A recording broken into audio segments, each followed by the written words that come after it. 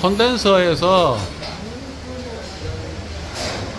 탱크로 가고 탱크 쪽에 밸브가 있고 탱크 밸브를 잠그고 sight glass에 있는 것이 T를 써가지고 지금 이 파이프처럼 따라서 직선으로 직선으로 blending 탱크에 가면 blending 탱크에 저 밸브가 있고 이 파이프가 시작되는 지점에 요 T에다가 T 쪽에 밸브를 하나 만들어주면 이거 먼저 잠그고 파이프 안에 아무것도 없을 때까지 저거 열어놨다가 파이프에 아무것도 없이 다 떨어지고 나면 저 잠그면 파이프 안에 아무 물이 없어요.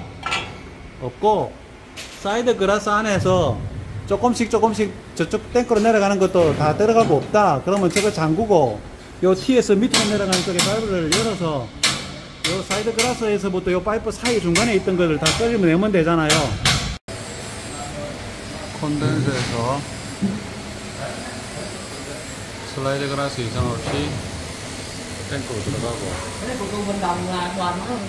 여기에서.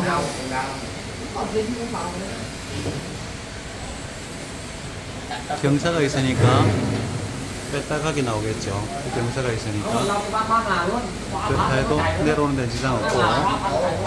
여기 발브 달고 Y자 없이 일직선으로 와서 브랜딩으로 들어간다. 그럼 브랜딩 저쪽에 밸브 하나 있고 그라 슬라이드 그라스 내려오는 쪽에 밸브 하나 있고 요 밸브 잠그고